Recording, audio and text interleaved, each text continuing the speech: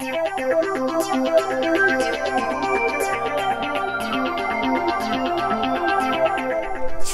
tricks, tricks! Today I have an, an amazing trick to share with you guys, and you can use this to solve some really complicated math problems. And not only yourself you'll be amazed, you can show your teachers, your friends, and show off your skill. So stay tuned to find out more.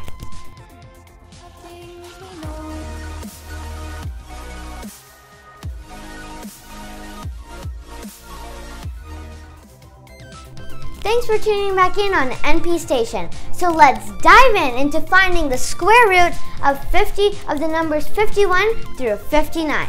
So how about we take a step back here? Well, guys, what's a square root? Well, a square root means that you're multiplying a number by the same number. So I've listed some examples here. So for example, 2 squared, which is 2 times 2, equals 4. 3 squared equals 9. 4 squared equals 16, and so on and so on. So how about our first one should be 56 square? Okay, so our first step is we have to do 5 square, and that gets us to 25. Now we have to add the last digit of the number, which in this case is 6. So let's add that to 25. And then we have to times that by 100. And then we have to add 6 square. Okay, so I have listed all the steps below and it might look complicated, guys, but don't worry. Once you get once you guys get the hang of it, you can do this in about 2 seconds. So, let's do 25 plus 6 and that gets us to 31. And then multiply that by 100, which that gets us to 3100. Now let's add the 6 square. And 6 square, which is 6 times 6, and that equals 36. So we have 3136 as our answer to 56 square. Wasn't that so simple and amazing? Well, how about we do another one? How about now we can do 57 square? Okay, first step is we have to do 5 square, which again is 25.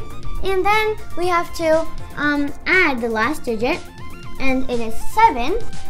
So let's add that.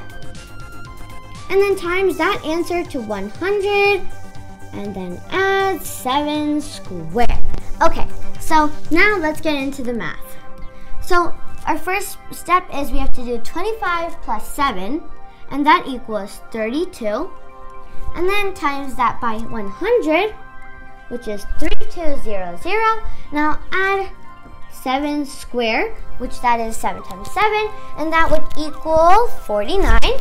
So our answer would be 3, 2, 4, 9. So now we got the answer to our second problem, which was 57 square.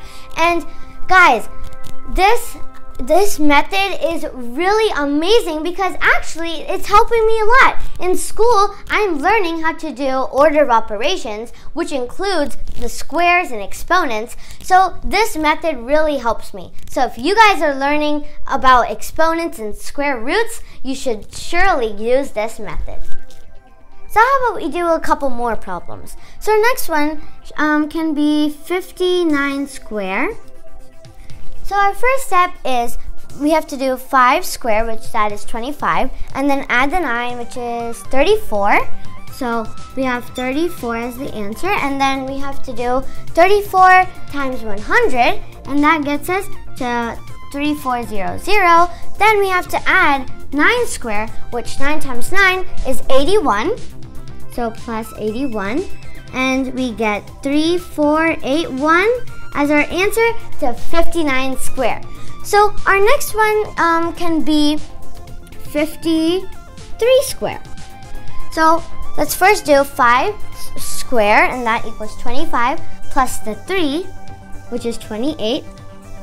And then times that by 100, which is 2,800. And then we have to add 3 square, which 3 times 3 is 9. So our answer gets to 82809.